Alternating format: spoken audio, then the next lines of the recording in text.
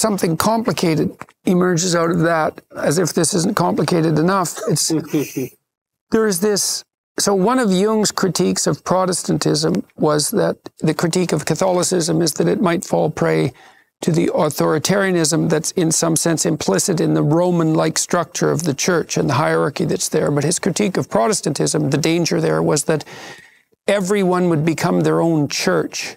And then their identity would become self proclaimed in some fundamental sense, because with no mediating structures between the divine and the person, it's easy for the person in some sense to usurp the position of God. And one of the things that's puzzled me about the recent insistence that people can self define their own existence is that they're attributing to themselves, in some real sense, the omniscience, omnipotence, right. and uh, omnipresence of God because their stance is something like, I am that I am. Yeah, that's why it's pride. Yeah, right, right, right. And, and, and I, I really see those things as tightly linked. It's one of the things that's tilted me, I would say, ethically in a more conservative direction because even in the psychotherapeutic literature, you see this Rousseau like underpinning, which more or less assumes that sanity is part and parcel of the autonomous individual. And so there's, there's a Rousseauian element there, there's a Protestant element, and a classic liberal element.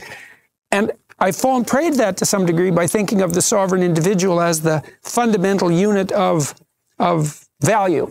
And but then I, I, and this is partly under the influence of Piaget and and the theorists of play and the people who made the case that identity comes out of negotiation that in order to be sane which is something other than let's say self-actualized in the in the narrow sense you have to be positioned in these hierarchical structures. So you can't be sane without a partner without a long-term partner let's say or if you don't have a long term partner, you better have some children or some parents. And if you don't have them, you better have some friends. And if you don't have them, you better at least have some colleagues and a town and a city and a state and a country, all the way up the hierarchy. And that what the sanity then becomes is the symphony like ordering of that entire structure rather than the autonomous health of the autonomous psyche, self defined.